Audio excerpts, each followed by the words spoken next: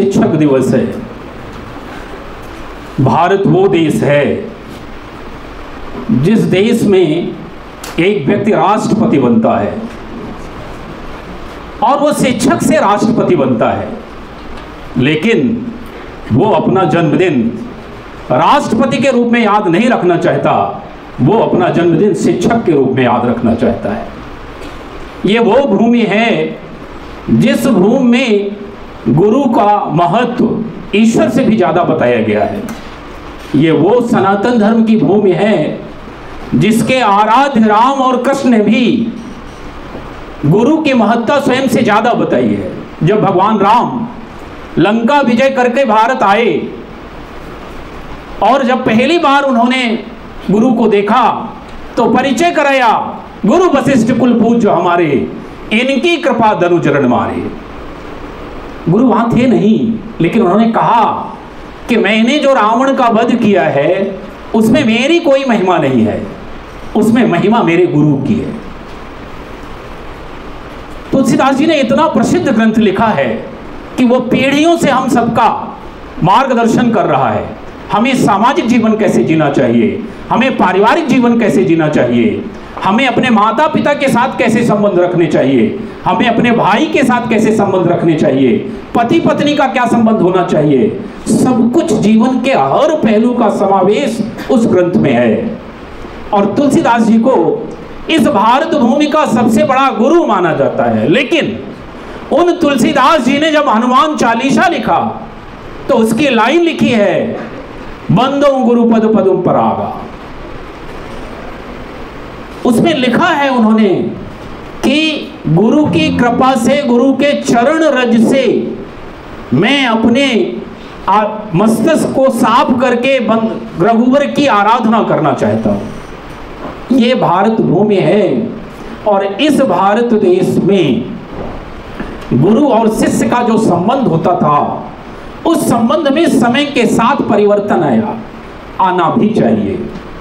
दुनिया में ऐसा कोई रिश्ता नहीं है जो सामाजिक बदलाव के साथ बदले ना तो फिर गुरु का रिश्ता कैसे नहीं बदलेगा? गुरु का रिश्ता भी बदल गया है।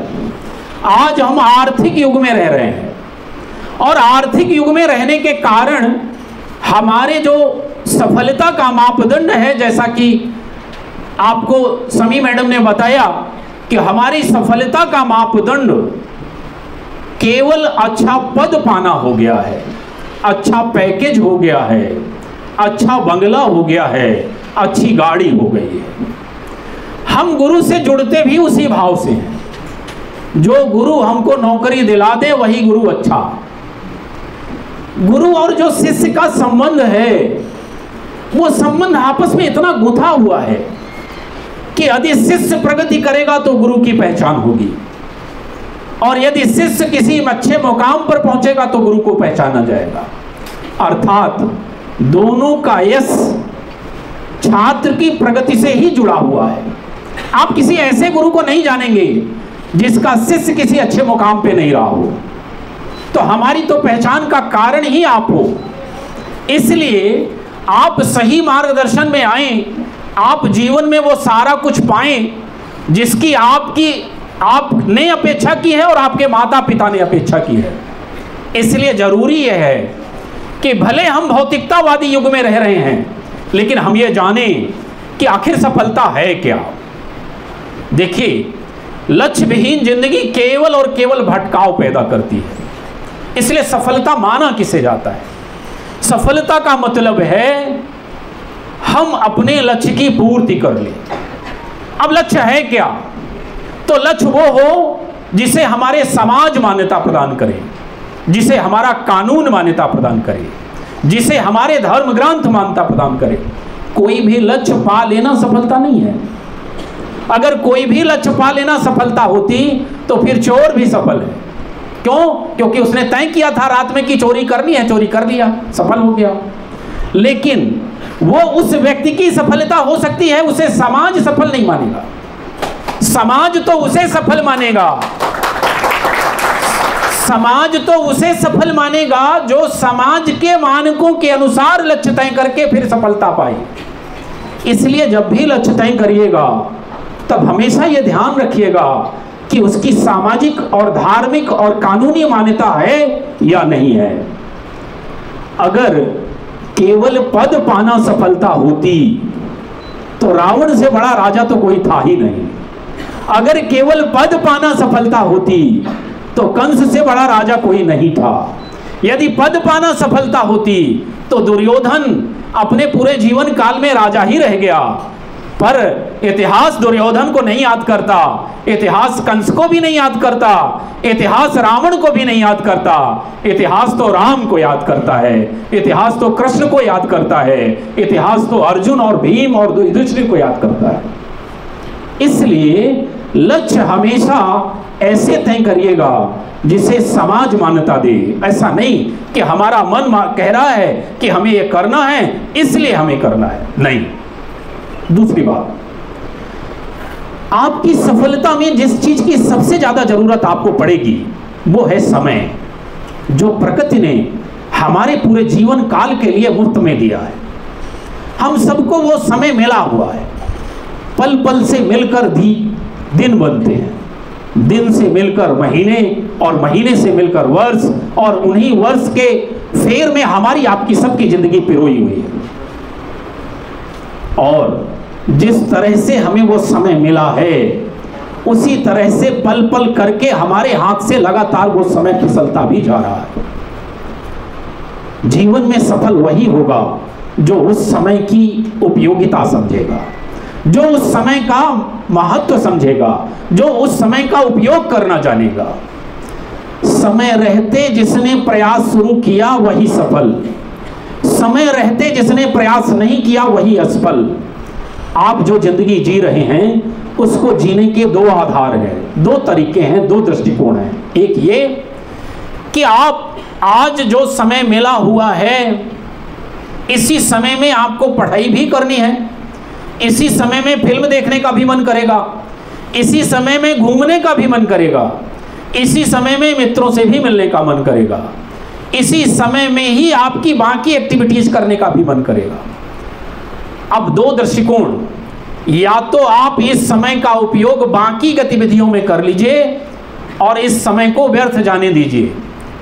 और इन चार सालों में अगर आपने ये किया तो फिर आगे के पूरे जीवन में समस्या झेलने के लिए तैयार रहिए। या दूसरा पहलू कि इस जीवन में जो आपको समय मिला इस तीन चार साल का, उसका आप सदुपयोग करिए, अपने को तपाइए, अपनी नींद को अपने बस में करिए, अपनी भावनाओं को अपने नियंत्रण में करिए और केवल और केवल उस लक्ष्य को टारगेट करिए जिसके लिए आप यहाँ आए हैं। और अगर चार साल आपने ये किया हो सकता है कि उन चार सालों में वो आपको मिल जाए कि फिर पूरी ज़िंदगी आपको कोई संघर्ष करना ना पड़े। हालाँकि संघर्ष तो पूरा जीवन चलेगा ही। केवल एक ही संघर्ष खत्म हो जाएगा कि हो सकता है आपको नौकरी मिल जाए। लेकिन नौकरी पाना सफलता नहीं है। लेकिन वो बहुत छोटी सफलता। क्यों? क्योंकि अगर नौकरी पाना ही सब कुछ होता तो आईएएस सुसाइड नहीं करता। नौकरी पाना ही सब कुछ होता तो आईएएस सुसाइड नहीं करता। आपके रीवा में ही तेईस साल के बच्चे ने सुसाइड कर लिया आईएएस था अगर नौकरी पाना ही सफलता होती तो आईपीएस ट्रेन में जाके कट नहीं जाते सुसाइड नहीं करते। इसका मतलब कि नौकरी आपके जीवन का केवल एक पहलू है। हालाँकि अगर वो भी नहीं मिले तो वो भी असफलता है। इसलिए आपको उसके लिए प्रयास करना है और पूरी क्षमता के साथ प्रयास करना है। लेकिन मैं कल चर्चा कर रहा था कि कई बार जीवन में ऐसा लगता है कि ज़िंदगी बिल्कुल फिक्स है। किसी व्यक्ति को आपको ऐसा लगेगा कि उसने बहुत कम मेहनत की और वो सफल हो गया। और उसमें उतनी काबिलियत भी नहीं दिख रही थी, फिर भी वो सफल हो गया। और दूसरा दिखेगा आपको कि इसमें ज़्यादा स्किल था ज़्यादा मेहनत करता था, ज़्यादा डिजर्व करता था, लेकिन उसके बाद भी वो सफल नहीं हुआ। इसी को कहते हैं कई बार किस्मत। पर ना मैंने अपनी किस्मत देखी, ना आपने अपनी किस्मत देखी। हम सबके हाथ में एक ही चीज़ है कर्मण्यवाधिकार से महाफली कदाचर। तुलसीदास जी ने कहा, कर्म प्रधान विश्व रचिराखा सकल पदार्थ या जगमाही, कर्म ही नर पावत नहीं। सब कुछ यही है। सारी सुविधाएँ, सारे लक्ष्य पूर्ति के तरीके यही विद्यमान हैं। लेकिन वो मिलेगा उसे जो रातों की नींद उड़ाएगा। मिलेगा उसे जो खून पसीना बहाना जानेगा। मिलेगा उसे जो अपनी बाकी भावनाओं को कंट्रोल करके अपने लक्ष्य को टारगेट करना सीखेगा। एक बात और, लक्ष्य तय करना और कर्म करना भर आपके हाथ में है। वही भर आप करिएगा। लेकिन ज़रूरी नहीं है कि आप जीवन में जितने लक्ष्य तय करेंगे, वो सारे आपको मिलेंगे ही। किसी को नहीं मिले। ऐसा कोई व्यक्ति है ही नहीं जिसे असफलता ना मिली हो। ऐसा कोई व्यक्ति है ही नहीं जिसके सारे सपने पूरे हुए हों। ऐसा कोई व्यक्ति है ही नहीं जिसकी सारी महत्वाकांक्षाएँ पूरी हुई हों। ईश्वर नहीं है तो हम आप कहाँ से होंगे? कृष्ण और कर्ण दो करेक्टर आपने पढ़े कर्ण एक बार कृष्ण से मिले। उन्होंने कहा कि मेरे साथ ज़िंदगी ने भारी अन्याय किया है, जबकि उसमें मेरी कोई गलती नहीं है। मैं पैदा हुआ, पैदा होते ही मेरी माँ ने मुझे छोड़ दिया। आपको पता है कुंती पुत्र थे? कुंती पुत्र कुंती ने उन्हें छोड़ दिया था। उसके बाद मुझे एक मछुआरे ने पाला। और पालने के बाद मैं पूरी ज़िंदगी अपने पहचान के संकट से गुजरता रहा। था मैं छत्री लेकिन मुझे सूत पुत्र कह के अपमानित किया जाता रहा।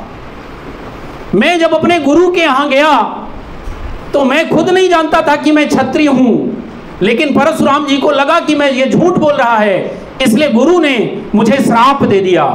और श्राप ये दिया कि जब युद्ध भूमि होगे, तब तुम्हें तुम्हारी विद्या भूल जाएगी।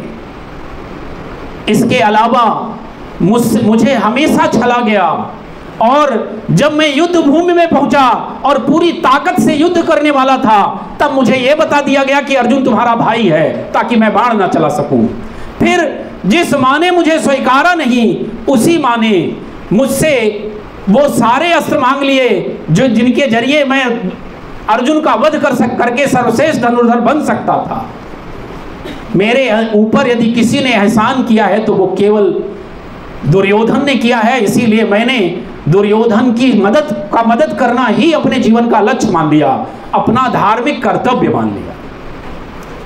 जब कृष्ण ऐसा कह रहे थे, कर्ण ऐसा कह रहे थे तो कृष्ण सुन रहे थे। कृष्ण ने कहा, हंसे, बोले, ये किसे बता रहे हो तुम? बोले, आपको। तो बोले, मेरा सुन लो। मैं तो जब पैदा हुआ तो मौत के साय में ही पैदा हुआ। और मार ना दिया जाऊँ, इसलिए पैदा होते ही माता पिता से अलग हो गया। जहाँ पहुँचा, वहाँ मुझे मारने के लिए रोज जतन किए जाते थे। तुम तो कम से कम गुरु की शिक्षा पाए। जब पैदा हुए, उसी समय घोड़ों की चाप के बीच में तुम्हारा जीवन बीचा, बीता। परशुराम, जैसे गुरु मिले, मैं तो 16 साल तक गायों को चलाता रहा, गोबर उठाता रहा। फिर मेरे ऊपर आक्रमण हो गए तो मैं अपनी नगरी को छोड़कर दूसरी जगह भागा तो मुझे रणछोड़ दास कहा गया। तो मैं तो पूरे जीवन कुछ न कुछ छोड़ता ही रहा। लेकिन अगर मैंने कोई चीज़ नहीं छोड़ी तो वो केवल एक चीज़ नहीं छोड़ी, अपनी मुस्कान। आपके जीवन में जब कुछ छूटे तो मुस्कान मत खोइएगा ये सोचकर कि हो सकता है कि इन जो त्याग और जो दुख मुझे मिले, इनके पीछे कोई बड़ा सुख मिलने वाला है। और इतना बड़ा सुख मिलने वाला है कि हो सकता है उसी के कारण मेरी पहचान बन जाए। ऐसा ऐसा कोई व्यक्ति हुआ ही नहीं जो असफल ना हुआ हो। राम को ले लीजिए। पैदा हुए। पैदा होने के बाद जब उन्हें राज्य मिलना था तो चौदह वर्ष का वनवास मिल गया। आप सोचिए कि जिसे चक्रवर्ती राज्य मिलना रहा हो, उसे चौदह वर्ष का वनवास मिल गया। लेकिन हँसते हुए स्वीकार कर लिया। फिर जब बन गए तो बन जाने के बाद सीता का अपहरण हो गया, दूसरी असफलता। फिर कुछ दिनों तक फिर युद्ध किया, फिर लक्ष्मण को शक्ति लग गई, तीसरी असफलता। हम आप होते तो क्या करते? सुसाइड करने का सोचने लगते। अवसाद में चले जाते, ज़िंदगी बेकार हो गई। एक एग्ज़ाम दिया नहीं, पाँच नंबर कमाए नहीं, कि टीचर को सौ बात सुना, मने मन कोस डाले स्वयं को कोस डाले और बोले, ज़िंदगी बेकार हो गई, पाँच नंबर में ही तो ज़िंदगी थी, खत्म हो गई ज़िंदगी। रामानुजन जैसा विद्वान फेल हो गए दसवीं में। क्यों? क्योंकि गणित ही गणित पढ़ते थे वो, दूसरा सब्जेक्ट पढ़ते नहीं थे तो फेल हो गए, आत्महत्या करने चले गए। और आप सोचिए कि बच गए भला, सौभाग्य था उनका कि बच गए। अगर नहीं बचे होते तो देश को गणित के क्षेत्र में पहचान दिलाने वाले इतने बड़े गणितज्ञ कहाँ से मिले होते? उनकी उस असफलता में उनकी इतनी बड़ी सफलता छुपी हुई है। अगर वह हमारी आपकी तरह हिंदी भी पढ़ते, संस्कृत भी पढ़ते, सोशल साइंस भी पढ़ते तो गणित में के क्षेत्र में हो सकता है उनका इतना बड़ा नाम ना हो। तो जीवन में जो लक्ष्य तय किया है आपने उन लक्ष्यों का मूल्यांकन किसी पड़ोसी से मत करिए। सफलता सबकी अपनी अपनी होती है। इसलिए कभी किसी से तुलना मत करिए। कोई ज़रूरी नहीं है कि आपके पास, जो पड़ोसी के पास गाड़ी नहीं है, वो आपके पास नहीं है तो आप असफल हैं। हो सकता है कि पड़ोसी के पास गाड़ी तो बहुत बड़ी है, लेकिन वो हार्ट का पेशेंट है, उसकी पीड़ा आप जानते ही नहीं। आप तो केवल भौतिक सुख को माने हुए हो, सफलता। हो सकता है कि उसका पारिवारिक बेखराव हो गया हो और उसके अंदर इतनी पीड़ा हो जिसका आप अंदा आकलन नहीं कर पा रहे। इसलिए आप अपनी खुशी तलाशिए, अपने लक्ष्य तय करिए, अपनी लक्ष्य तय करने को अपनी सफलता मानिए। दूसरे के तय किए हुए लक्ष्य को अपनी सफलता मानेंगे तो जीवन भर और साथ में रहेंगे। दुनिया की कोई ताकत आपको खुश नहीं कर सकती। इस राष्ट्र में सारे लोग हुए। और सबकी सफलता के मानक अलग अलग हुए श्रवण कुमार के लिए बूढ़े माता पिता की सेवा करना ही सफलता थी। और वो सफलता उनकी स्थापित भी हुई। ये सृष्टि जब तक है, श्रवण कुमार का नाम कभी नहीं मिटेगा। राम के लिए राज्य नहीं माता पिता के वचनों का निर्वहन सफलता थी। कृष्ण के लिए सुदामा से दोस्ती निभाना सफलता थी। आप जिम्मेदारियों का निर्वहन अपना सफलता जब तक मान, जब मान लेंगे तो आप पद की परिसीमा के बाहर चले जाएँगे। मैं ऐसा बिल्कुल नहीं कह रहा हूँ कि पद महत्वपूर्ण नहीं है, पर मेरा भाव यह है कि पद ही सब कुछ नहीं है। पद प्राप्ति के पूरे प्रयास करने चाहिए, लेकिन पाँच परसेंट, दस परसेंट दिमाग में यह भी रखना चाहिए कि हम असफल भी हो सकते हैं। क्यों? क्योंकि सफल भी प्रयास करने वाला होता है और असफल भी प्रयास करने वाला ही होता है। जो लड़ते हैं, वही जीतते भी हैं और वही हारते भी हैं। इसलिए यदि जीतने पे आनंद आपको आता है तो हारने की क्षमता भी पचाने, पचाना सीखिए। हार पचाने की क्षमता भी अपने अंदर समाहित करिए, क्योंकि जीवन में कहीं ना कहीं हार तो सबको मिली है तो उससे आप अछूते कहाँ रहेंगे? जो भी व्यक्ति आपको सफल दिख रहा है, अभी कुछ दिन पहले कैलाश खेर, जो इतने बड़े गायक हैं, उनका इंटरव्यू आया था कि मैं गंगा नदी के किनारे डूबने चला गया था। उस नदी के किनारे जो लाशों को आग लगाते हैं उसे लगा कि मैं मर जाऊँगा, डूब, डूबने आया हूँ। उसने मेरे पीछे एक थप्पड़ मारा और मुझे मरने से बचाया और उसका परिणाम आप देखिए कि वह कहाँ है। सफलताएँ आपके जीवन में कब आ जाएँगी, पता नहीं है। और कब चली जाएँगी, ये भी पता नहीं है। खुशियाँ कब आएँगी और कब चली जाएँगी, दोनों स्थितियाँ पता नहीं है। किशोर कुमार जी का एक गाना है, ये जीवन है, इस जीवन का यही है रंग रूप थोड़े गम हैं, थोड़ी खुशियाँ। जब आप असफल होंगे तो गम आएगा। जब आप सफल होंगे तो खुशियाँ आएँगी। यदि आप खुशियों का आनंद लेना जानते हैं तो असफलताएँ अर्थात गम का भी, को भी पचाना सीख लीजिए। एक गाना और है, दुख जाएगा, सुख आएगा, सुख जाएगा, दुख आएगा। जीवन में दुख और सुख का ये जो क्रम है, सफलता और असफलता का ये जो क्रम है, वो आपके अंतिम सांस तक चलेगा। एक ओलंपिक की रेस हो रही थी रोम में, एथलेटिक्स चैंपियनशिप थी। 400 मीटर की दौड़ थी। उसमें भारत का प्रतिनिधित्व कश्मीरा सिंह कर रहे थे। रेस शुरू हुई। रेस की शुरुआत में कश्मीरा सिंह सबसे आगे थे। भारतीयों की खुशी का ठिकाना नहीं रहा कि हमारे हाथ जल्द ही एक बड़ी जीत आने वाली है। लेकिन तीन राउंड के बाद स्थितियाँ बदल गई। एक धावक उनसे आगे हुआ, फिर कुछ देर बाद दूसरा हुआ, कुछ देर बाद तीसरा हुआ और रेस खत्म होते होते कश्मीरा सिंह कहाँ गए पता ही नहीं चला। और रेस जिसने जीता उसका नाम था आब्दी भिले। जो तीन राउंड तक कहीं नहीं दिखा, लेकिन अंतिम राउंड में जीत उसी ने जीती। आपकी ज़िंदगी में भी यही होगा, होता है। ऐसा होगा कि कोई बच्चा ट्वेल्थ में टॉपर रहा होगा। पर जब ग्रेजुएशन खत्म होगा तो पता चला वो गायब हो गया। ऐसा भी हो सकता है कि कोई ग्रेजुएशन में भी पीछे रहा हो। लेकिन जब सिलेक्शन की लिस्ट आएगी तो पता चला बारहवीं का टॉपर भी कहीं नहीं है, बी का टॉपर भी कहीं नहीं है, और वो व्यक्ति ने टॉप किया जो कहीं था ही नहीं आज तक।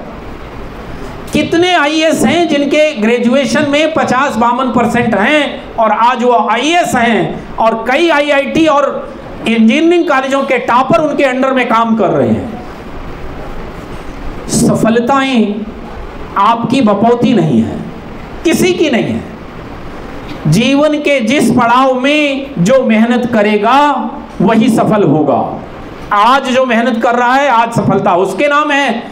कल दूसरा मेहनत करेगा तो सफलता उसके नाम हो जाएगी। सफलताएँ बदलेंगी और इसीलिए हमेशा टापर का भाव रखने का, की जो, का कीड़ा मन में पाल रखे हैं, उसको मत पालिएगा। वो बहुत कष्ट देता है। आपका काम है अपनी क्षमताओं का उपयोग करना। आप वो पूरी तन्मयता के साथ करिएगा, अंतिम समय तक करिएगा। एक बात और। अभी मैं जिस पॉइंट पे चर्चा कर रहा हूँ, उसी से लिंक है। बहुत सारे लोग ऐसे हैं, जिन्होंने टॉप तो किया अच्छा पैकेज भी मिल गया, अच्छी नौकरी भी पे मिल गई, पर वो नौकरी में नहीं सफल हो रहे। वो अपनी पारिवारिक ज़िंदगी में सफल नहीं हो रहे। वो अपनी सामाजिक ज़िंदगी में सफल नहीं हो रहे। पति की पत्नी से नहीं बन रही, पत्नी की पति से नहीं बन रही। पारिवारिक बिखराव हो गया। पिता वृद्धाश्रम में रह रहे हैं, मित्रों से नहीं पट रही है। ऐसा क्यों? पहले ये माना जाता था कि जो व्यक्ति टॉप करता है, वो जीवन के जिस फ़ेज़ में जाएगा, वो सफल होगा ही।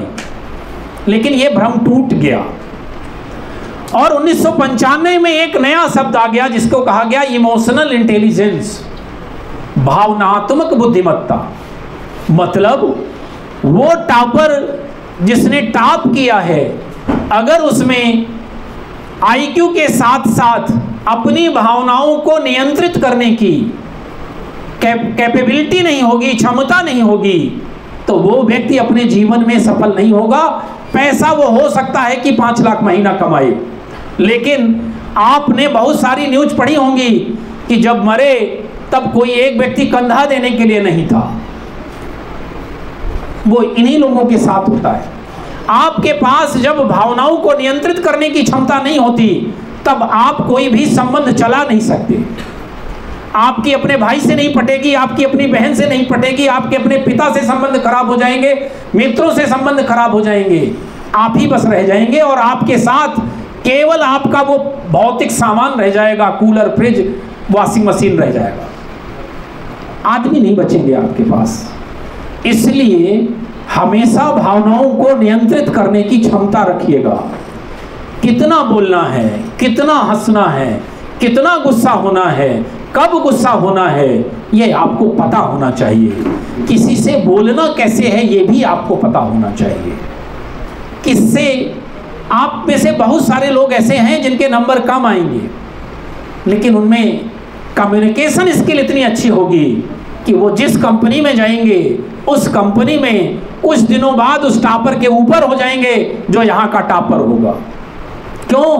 क्योंकि कंपनी को आदमियों से काम करना है, वहाँ प्रोडक्ट बेचना है। उसकी कंपनी में आप अकेले नहीं काम कर रहे हो, बहुत सारे लोग काम कर रहे हैं। अगर उनके बीच कोऑर्डिनेशन स्थापित करना आप नहीं जानते तो उस कंपनी में आप ग्रोथ नहीं कर पाएँगे। और ये सारी चीज़ें ऐसी हैं कि ये आप किसी किताब को पढ़ के नहीं सीख पाएँगे। किताब आपको केवल नौकरी दिलाएगी, व्यवहारिक ज़िंदगी जीना नहीं सिखाएगी। वो आपको अपने आचरण में डालना होगा। केवल ज्ञान नहीं, आचरण पूजा जाता है। ज्ञान पूजा जाता। तो जितना धनुर्धर अर्जुन था, उतना ही कर्ण भी था। जितनी गदा भीम को आती थी, उतनी ही दुर्योधन को भी आती थी। लेकिन दुर्योधन और कर्ण नहीं पूजे जाते, अर्जुन और भीम पूजे जाते हैं। इसलिए पूजा ज्ञान की भर नहीं होती, आचरण की होती है। जितने महापुरुष बने हैं उन्हें कितना ज्ञान था इसलिए नहीं पूजे जा रहे। उन वो पूजे इसलिए जा रहे कि उस ज्ञान को उन्होंने सबसे पहले अपने ऊपर लागू किया, फिर सोसाइटी के ऊपर लागू किया। गांधी जी के पास एक बच्चा को लेके एक माँ पहुँची बूढ़ा ये गुड़ बहुत खाता है, आप इसको मना कर दीजिए तो आपके कहने पे शायद मान जाएगा। गांधी जी ने कहा, तीन दिन बाद आना। तीन दिन बाद वो फिर पहुँचे। तो बोले, बेटा, बहुत गुड़ नहीं खाना चाहिए, नुकसान करता है, छोड़ दो इसे। माँ को देर खली नहीं बोले, इतना ही बोलना था आपको तो बोले हाँ। तो बोले, ये आप उसी दिन क्यों नहीं बोल दिए? मुझे फिर बुलाए। तो बोले, उस दिन मैं भी बहुत गुड़ खाता था उस दिन तक। तो पहले मैं छोड़ा गुड़, तब इसे बोला कि तुम भी छोड़ दो। ये है ईमानदारी। अब यहाँ पता चला, हम दिन भर दारू में, हम ही डूबे हैं, पिता, और बच्चे कह रहे, दारू नहीं पीना चाहिए। कहाँ से प्रभाव पड़ेगा? जैसे कल कहा जा रहा था, आप लोग जीन्स पहन के नहीं आएँगे, सीनियर सब आएँगे। हैं? तो ये तो आधा अधूरा हुआ ना? एक को छूट, एक को पनिशमेंट हालाँकि वो पनिशमेंट नहीं है। तो मेरे कहने का आशय यह है कि आज भारत को ज्ञान की नहीं, आचरण की ज़रूरत है। ज्ञान तो गूगल के पास बहुत है। जो डालिए वही उसी का आंसर वहाँ है। प्रश्न ये है कि उस ज्ञान का कितना भाग हमारे आचरण में है, हमारे व्यवहार में है? और अगर वो ज्ञान का भाग हमारे आचरण में नहीं है तो हम कितनी सूचनाएँ रटे हुए हैं? इसके आधार पर हमारी सामाजिक मान्यता नहीं मिलेगी। एक राजा था, पड़ोसी राज्यों ने उसका राजपाट छीन लिया। उसने प्रयास किया, एक बार, दो बार, तीन बार, चार बार हार गया तो फिर राजपाट छोड़ के एक जंगल में चला गया। जब जंगल में पहुँचा तो देखा कि एक जगह से दूसरे जगह मकड़ी जाला बुनने का प्रयास कर रही थी। लेकिन वो बुने और फिर टूट जाए। एक बार, दो बार, तीन बार, चार बार किया और 21 बार में वो सफलता पा गई राजा देख रहा था। राजा ने कहा, मुझे मकड़ी के रूप में नया गुरु मिल गया। मैंने तो कुछ प्रयासों में ही अपने आप को असफल मान लिया था। मुझसे अच्छी तो ये मकड़ी है। बीस प्रयास में असफलता के बाद भी इसने अपना पेशेंस नहीं खोया। और मैं कुछ प्रयासों में ही अपना धैर्य खो के यह मान गया कि राज्य नहीं पा सकता। अभी तो मुझे इस मकड़ी के बराबर कम से कम 21 प्रयास तो करने चाहिए। और 21 प्रयास उसने किया और वो फिर से अपना राजपाट वापस पा गया। तो आपको ऐसा जीवन में मिलेगा कि किसी ने पहले अटेम्प्ट में ही कोई सफलता हासिल कर ली और आपकी किस्मत में पहले अटेम्प्ट में कुछ असफलताएँ हों, उसके बाद सफलताएँ लिखी हों। इसलिए आप परेशान मत होइएगा, लगातार प्रयास करते रहिएगा और जब समय आएगा, तब आपको वो सफलता मिल ही जाएगी जिसकी कि आपको अपेक्षा है। एक बात और, आप जीवन में जहाँ भी पहुँचेंगे, वहाँ पहुँचाने में आपके साथ साथ बहुत सारे लोगों का योगदान होगा। लेकिन जैसे ही हमें सफलता मिलती है, हम इस भ्रम में जीवन जीने लगते हैं कि ये सफलता केवल मेरी है। कोई भी सफलता के लिए आपकी नहीं है। आपकी सफलता में आपके टीचर, आपके मित्र, आपके परिवार, आपके पड़ोस के बहुत सारे लोगों का योगदान होगा, जिन्होंने जीवन के अलग अलग पड़ाव में आपको शिक्षित किया होगा। आपको कोई ना कोई संस्कार सिखाया होगा। आपके लिए त्याग किया होगा। आपके लिए अपना समय, अपना पैसा कुर्बान किया होगा। तब आप उस मुकाम में पहुँचेंगे। जब आप वहाँ पहुँच जाइएगा तो ऐसे बुरे वक्त में जिन्होंने आपकी सहायता की है, उनको कभी भूलिएगा नहीं। उनका हमेशा आदर करिएगा। और जब आप सफल होना चाहते हैं तो ऐसा होगा कि जब आप प्रयास कर रहे हों तो आपकी परिस्थितियाँ आपके अनुकूल ना हो। परिस्थितियों का मतलब रहने के लिए अच्छा घर नहीं, फ़ीस देने के लिए पैसा नहीं पहनने के लिए अच्छे कपड़े नहीं, घर की और भी बुरी परिस्थितियाँ हैं। पर आप उनका कभी रोना मत रोइएगा। क्यों? कोई मदद करेगा नहीं, और आप केवल कमज़ोर अपने आप को साबित कर लेंगे। आप तो समय का इंतज़ार करिएगा। और एक बात जान लीजिए कि बुरी परिस्थितियों से लड़के जो आगे बढ़ता है, वो ज़्यादा सशक्त होता है। बजाय उसके जिसको कि हर चीज़ उसके पेरेंट्स ने या उसकी उसकी परिस्थितियों ने उसको अवेलेबल करा दी है। जो जितना संघर्ष करके आगे बढ़ेगा, उसका व्यक्तित्व उतना ही मज़बूत होगा। तो आपकी बुरी परिस्थितियाँ आपके लिए अवसर हैं। अगर आप उन परिस्थितियों से झुकेंगे नहीं, उन परिस्थितियों से लड़ेंगे तो वो परिस्थितियाँ आपके व्यक्तित्व को इतना मज़बूत बना देंगी कि फिर थोड़ी मोड़ी असफलता आपको डिगा नहीं सकेगी। थोड़े मोड़े कष्ट आपको परेशान नहीं कर सकेंगे। हम आज की डेट में ज़्यादा परेशान इसीलिए हो रहे हैं क्योंकि माँ बाप की एक एक दो दो संतानें हैं। और उनको इतना सुख सुविधा मिल रहा है कि जहाँ उन्हें थोड़ा सा कष्ट हुआ कि फिर इतने लंबे लंबे आँसू बहते हैं उनके कि लगता है कि पूरे जीवन का कष्ट केवल इन्हीं को है। आप लोगों को जो मिल रहा है, उसका वन टेन पार्ट भी हम लोगों को नहीं मिला।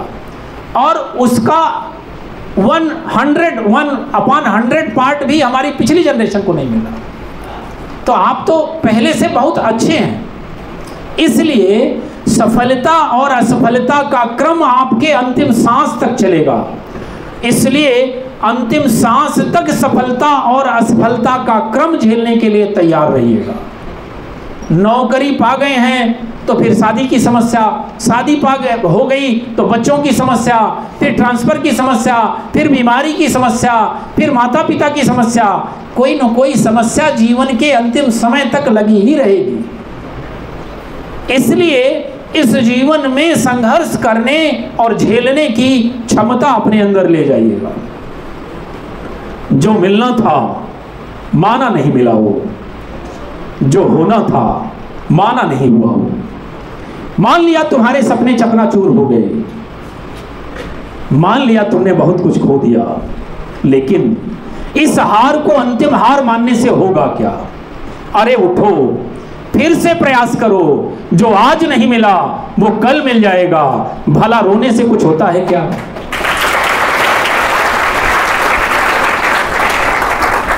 लक्ष्य तो मुश्किलों से ही मिलते हैं। किसी को आसानी से कुछ मिला हो तो बताओ। इसलिए लड़ने का जज्बा पैदा करो। भला डर कर भागने से कुछ होता है क्या? जो आज नहीं मिला, वो कल मिल जाएगा। भला रोने से कुछ होता है क्या?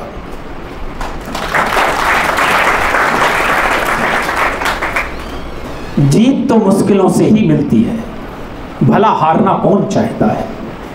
जीत तो मुश्किलों से ही मिलती है। भला हारना कौन चाहता है? इसलिए मुश्किलों का सामना करना सीखो। इसलिए यदि जीत चाहिए तो मुश्किलों का सामना करना सीखो। मुश्किलों से घबरा कर भागने वालों को कुछ मिलता है क्या? जो आज नहीं मिला, वो कल मिल जाएगा। भला सोने से कुछ मिलता है क्या? जीवन का मतलब ये है अंतिम सांस तक लड़ने की क्षमता पैदा करना। लड़ाइयाँ अलग अलग हैं। अभी दूसरी, बाद में दूसरी, अंतिम समय में दूसरी। केवल प्रकार बदलेंगे लड़ाई के, केवल मैदान बदलेंगे लड़ाई के। अभी तक आप बारहवीं में जिन बच्चों के साथ पढ़ रहे थे, वो बच्चे जो यहाँ नहीं एडमिशन पाए, वो अब आपके मैदान से बाहर। जो अब यहाँ एडमिशन पा गए, उनके साथ आपकी जंग शुरू होगी। फिर इसके बाद जो कंपटीशन में आपके साथ बैठेंगे, उनके साथ जंग शुरू। फिर जो सिलेक्शन पाएँगे, उनके साथ पोस्टिंग को लेके जंग शुरू। केवल मैदान बदलते हैं, खिलाड़ी बदलते हैं। संघर्ष तो जीवन के अंतिम समय तक आपको झेलना ही पड़ेगा। इसलिए रो के क्यों झेला जाए?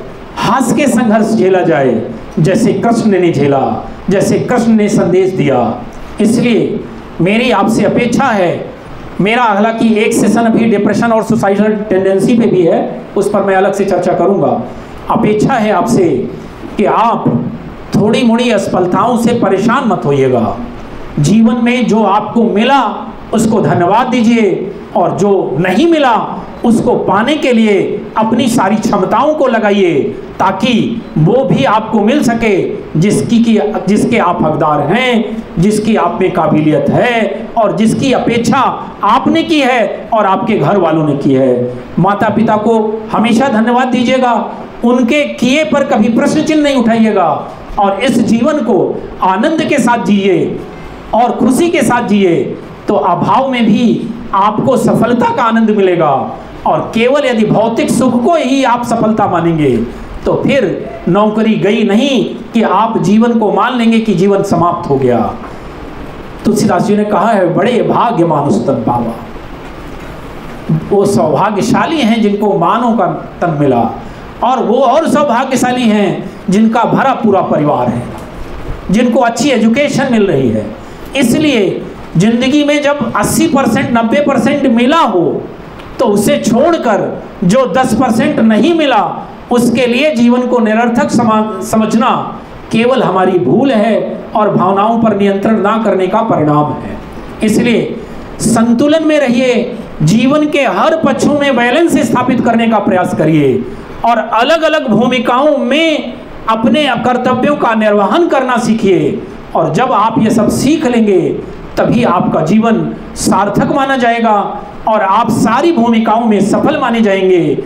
आपका एग्ज़ाम्पल दूसरे लोग कोट करेंगे और आप जीवन में उस ऊंचाई को पाएँगे जिस ऊंचाई को आप पाना चाहते हैं।